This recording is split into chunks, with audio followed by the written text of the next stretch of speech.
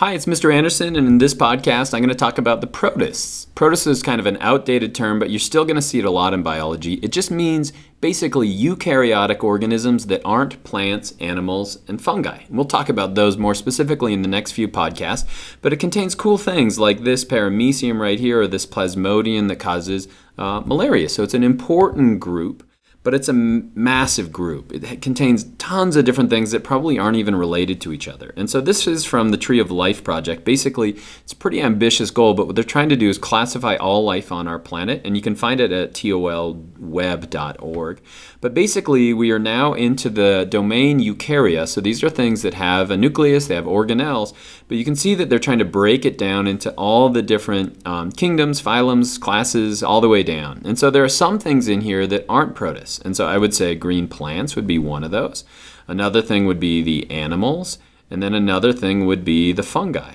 But everything else in here is we classify them into a group that's called the protists. And we're trying to figure out what are some monophyletic groups within that. We have candidate kingdoms. But for now, that makes your job easier as a biology student because you don't have to learn a bunch of different types of it. And so, in other words, we like to think of this as the biological junk drawer. So, just like in my house, I have a drawer where I have scissors and tape and pens and glue and all of these things.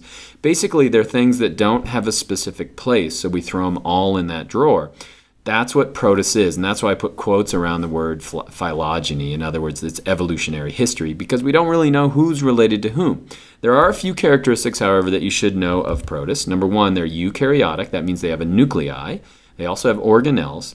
They could be multicellular or unicellular. A lot of the ones we see in pond water are going to be unicellular, but we can see massive uh, protists as well. And then they're not going to have true tissues, or they're not going to have tissues in general. They're just going to be a group of cells kind of working together. And so this kind of separates it from the other big kingdoms that you do have to understand. Those are the fungi, the plants, and then the animals. And so basically, they live in pretty much every part of our planet, and they fill a number of different niches. They fill a number of different roles, and they have metabolism that is just about as diverse as everything else. And so the two major groups are going to be the photoautotrophs or the phototrophs. Basically, they make their own food, generally using energy from the sun. So what's an example of something you might not think of as, as a protist is kelp. But we'd also find like this euglena here or this dinoflagellate, which makes up the crimson tide, all of these are taking energy from the sun. They're using chlorophyll and they're converting that to um, energy of molecules where they can break it down through cellular respiration. But we also have a bunch of organotrophs. Those are going to feeding organisms. So the plasmodium that, that causes malaria is actually living in both the liver and the red blood cells. We have trypanosomes. We have an amoeba that's going to feed on other protists. So these aren't making their own energy. They're actually eating food and getting energy from that. And so, how do they reproduce? Well, of course, they have a bunch of diverse ways to reproduce. Some do it asexually, some do it sexually. Like this right here is a paramecium that's simply splitting in half, so that's binary fission. Um, but they also have these paramecium will have conjugation where they can come together and share bits of their genetic information. Some of them reproduce sexually and some do both. This right here is one of my my favorite organisms. This is the slime mold and you can see the slime mold here growing on a can. Basically what they'll do is they'll have an asexual portion of their life, a sexual portion of their life, and then a social portion where they're just out cruising around. So they're kind of like an amoeba and so they uh, the slime mold is is insane. I think they have something like 13 different genders. And so it blends the line between animals and plants, and it just is a taste of all of the different types of reproduction that we have in protists.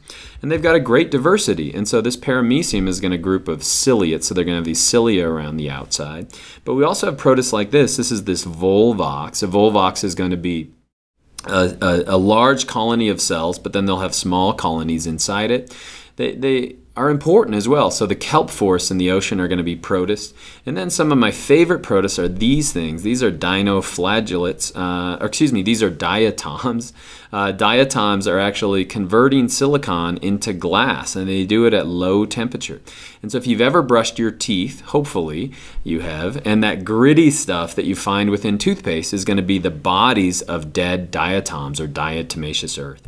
And so again, protists have a great diversity. The big thing that you should remember is that they're eukaryotic.